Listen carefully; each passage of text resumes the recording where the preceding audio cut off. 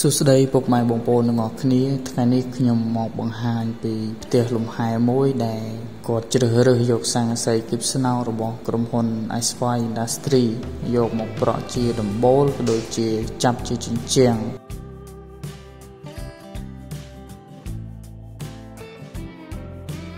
សម្រាប់អឺផ្ទះលំហែមួយនេះដែរគឺបងប្អូនមើលទៅពិតជាស្រស់ស្អាតខ្លាំងមែនទែនដែលអមទៅដោយស័ង្កសីគីបស្នោរបស់ក្រុមហ៊ុនយើងហើយសម្រាប់ស័ង្កសីនឹងដែរគឺគាត់ពេញចិត្តខ្លាំងមែនទែនចំពោះការប្រើប្រាស់របស់គាត់ជាពិសេសហ្នឹងគឺងាយស្រួលក្នុងការដំឡើងហើយការដំឡើងហ្នឹងគឺមានការរហ័សរហួនខ្លាំងមែនទែនបងប្អូនព្រោះអឺ សង្កសីគៀបស្នោហ្នឹងគឺมันប្រើប្រាស់ពេលវេលាយូរក្នុងការសាងសង់ទេបងប្អូនបាទ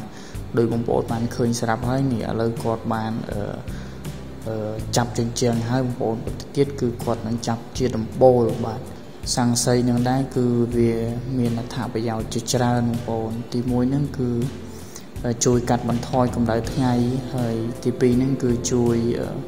កាត់បន្ថយសំឡេងរំខានបងប្អូនដូចជាទឹកភ្លៀងនៅជាដើមអញ្ចឹងណាចំពោះសាច់ស្នោវាមានកម្រាស់ក្រាស់ល្អខ្លាំងមែនទែនបងប្អូនហើយ